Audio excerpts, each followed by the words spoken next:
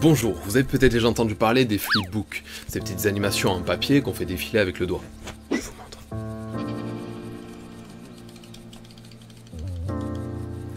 On reconnaît la grande vague de Kanagawa, là c'était un bloc tout près que j'ai acheté, et je me demande pourquoi j'ai pas fait ce sujet de vidéo plus tôt, parce que c'est super satisfaisant à créer, et quand j'avais 11-12 ans, il me semble que j'avais testé ça sur des blocs de post-it, mais euh, bon, c'est pas prévu pour. Mais pour l'occasion, je me suis commandé un kit spécial flipbook. Ok. Alors, j'ai des feuilles, une tablette lumineuse, c'est juste une tablette qui fait de la lumière, t'en as pour 20 euros si tu prends les premiers prix, et l'idée c'est de faire bouger un dessin. N'importe quoi, une flèche, un bonhomme, un paysage tout entier, je pose une première feuille. Je prends l'exemple le plus simple, le plus basique, juste pour vous montrer. Je fais une flèche. Et cette flèche, je vais la faire avancer. Pour ça, je prends une seconde feuille que je place par-dessus la première. Et je redessine la flèche légèrement plus loin je vais laisser une petite traînée de pointillés derrière pour ajouter un effet et rendre l'animation fluide. Doucement, je vais faire progresser cette flèche, feuille par feuille. Après, on peut en rajouter d'autres qui rentrent dans le game, avec des vitesses et des trajectoires différentes, par exemple. La double flèche, elle, je la fais aller beaucoup plus vite en augmentant l'écart par rapport aux autres. Du coup, on rattrape vite la flèche de devant pour un impact qui causera des éclats de matière. Et quand on rassemble toutes les feuilles, l'animation peut défiler.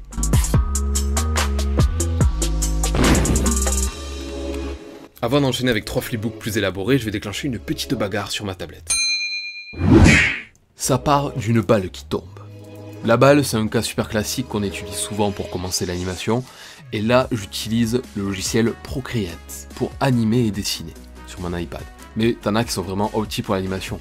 Là, il y a un artiste, c'est un youtubeur français, Benjamin Serbet, qui fait pas mal d'animations digitales. Et je sais qu'il a sorti son propre logiciel d'animation avec son équipe sur iOS. C'est Calipeg, ça a l'air d'être aux petits oignons. Chouette projet. Cette balle, elle chute d'un point A. En prenant de la vitesse, elle va s'allonger, comme elle est élastique. Et ça met un écart de plus en plus grand avec les images précédentes, plus elle tombe.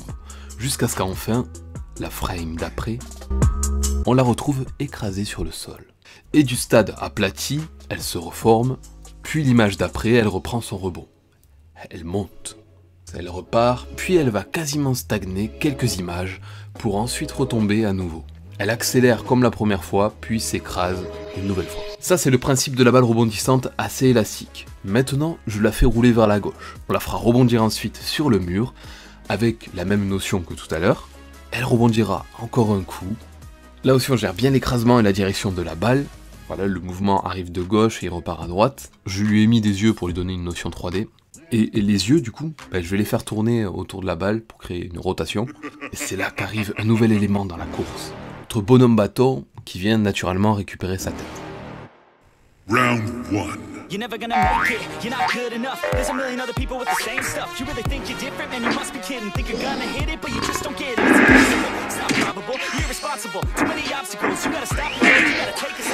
Ça, c'était l'animation complète. Et si je vous montre le chemin étape par étape, ça donne ça. En vrai, c'est pas super long à faire sur tablette pour quelque chose de basique comme ça et sans couleur, mais sur papier, c'est quand même le sujet de la vidéo, ça va être un autre délire, ça va être lent, faut pas être pressé. Le premier sera un œuf très particulier sur lequel une mouche va atterrir avant qu'il éclose, libérant quelque chose. Le second sera un personnage de profil qui marche avec un décor en arrière-plan. Et le troisième sera une animation avec des effets en 3D. On va essayer. En tout cas, je vais faire avancer les trois flipbooks en même temps. L'œuf, on va le faire tomber du ciel comme la balle tout à l'heure. La différence que cette fois, c'est pas une matière à toute flasque, donc euh, ça va se casser à l'impact, par contre lui aussi prend de la vitesse, et on l'écrase en enfonçant l'œuf dans le sol, faisant virevolter des morceaux de coquilles partout. Pour celui-là, il va falloir être particulièrement patient, vu tous les détails qu'on aura. Pour le personnage en mouvement, le but c'est d'arriver à faire une boucle complète, c'est-à-dire deux pas. Une fois qu'on aura la séquence, on aura juste à la reproduire indéfiniment pour faire une marche complète. Un pied en avant, un en arrière, en fait, la jambe du premier plan, là, elle est devant le personnage, il la met devant. Donc le bras de ce premier plan va basculer en arrière pour équilibrer. Comme ça, le poids est bien réparti en arrière, en avant, du même côté. C'est ce qui donne l'équilibre. Si on inverse et que c'est la jambe en second plan qui passe devant, notre bras qui est aussi en second plan derrière, il va basculer automatiquement en arrière. Après, c'est une règle générale, hein, tu marches comme tu veux. Ça fait une balance, c'est plutôt joli à voir. Bon, après, tu as toutes les autres étapes de marche où la jambe arrière doit passer devant, pendant que la jambe de devant, elle, elle va rester bien stable, assez tendue, jusqu'à ce que le pied devant, soit posé, touche le sol. Ensuite, c'est la jambe qui se retrouve derrière, qui va repasser devant en se pliant. Et voilà, le cycle se reproduit. Pendant ce temps-là, une mouche apparaît dans l'angle de mes post-it. Je vais la diriger vers mon œuf. Pour l'animation 3D, je fais une boule, une, bonne boule. Puis deux autres qui vont s'approcher petit à petit. Donc on réduit la taille de celle-ci et on les approche de la zone d'impact. Ça sera les yeux. Ensuite, je vais faire un emoji qui va évoluer petit à petit avec différentes émotions. L'étonnement, la tristesse et l'amour. Pendant ce temps, je continue à faire des boucles de marche redondant. Et la mouche arrive presque à se poser. Pour le mouvement d'elle, en fait, je vais juste la décupler. Je fais trois paires à chaque fois pour donner un effet de flou comme c'est quelque chose qui va très vite dans la réalité, après euh, les ailes s'arrêtent de bouger une fois posées.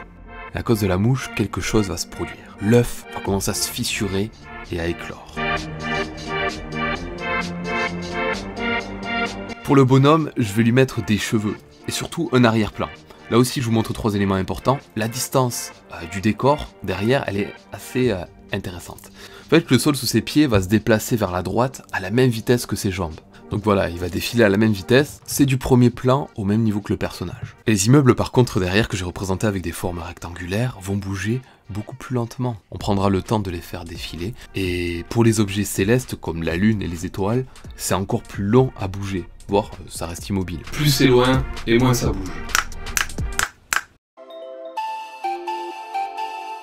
La miniature vous l'a peut-être dit, mais de l'œuf sort non pas un petit dragonnet mignon, mais un dragon adulte. Aku, du voyage de Shiro. j'ai fait exprès de sortir un truc beaucoup trop grand pour l'œuf. Il y a un côté magique, impossible, qui me plaît pas mal. Ça fait penser un peu à Harry Potter et aussi un peu à Okami, je sais pas si vous voyez dans les animaux fantastiques. L'effet 3D continue avec une rotation légère de l'emoji cœur. On pivote en réglant correctement les proportions et on fait tourner les cercles. Non, non, une fois qu'on a dépassé la vue de profil, les éléments vont passer derrière et vont être cachés par la sphère.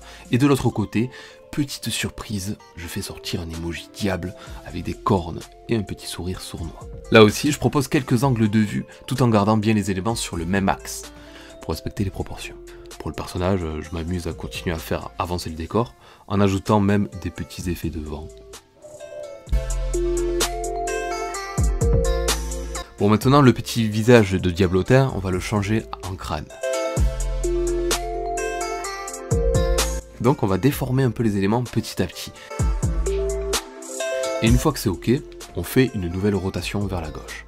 Donc l'effet 3D continue, mais avec quand même plus de complexité. Notre ami, lui, continue sa course sous les yeux brillants de notre lune. Il marche seul dans le noir jusqu'à ce que le soleil vienne caresser l'horizon je mets de la couleur sur mon dessin et je reviens sur chacune des fiches.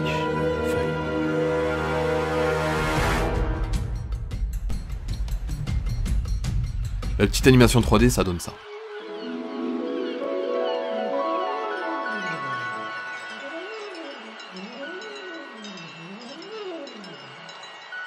Je la remets en rapide comme ça, ça me fait des je suis plutôt content de l'effet rotation. Euh, après, si vous voulez ajouter plus de fluidité, on peut toujours mettre des images supplémentaires entre les feuilles. Allez, autour de notre œuf.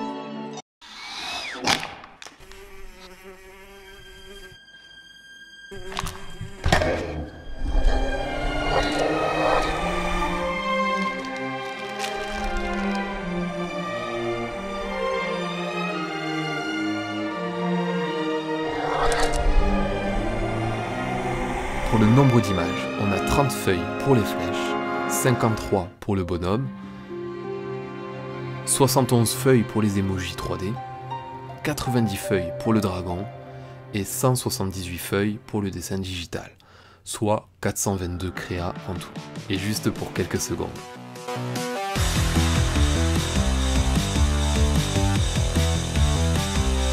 Pour une première expérience, je suis plutôt content des résultats. C'est ma manière un peu de m'initier à l'animation, même si c'est plus complexe euh, dans la réalité. Quand je crois que mon papier est un peu trop fin. Je sais pas, c'était pas toujours très pratique pour faire tourner les pages. On est encore très loin du level d'Animation qui lui réalise des flipbooks qui lui demandent parfois plusieurs mois de travail, il me semble. Mais quand tu vois le résultat à la fin, c'est insane, il est très fort et euh, c'est satisfaisant. Bon, ça fait un petit moment, vous faites quoi en ce moment? Vous, vous, bossez, vous, êtes en vacances, vous dessinez?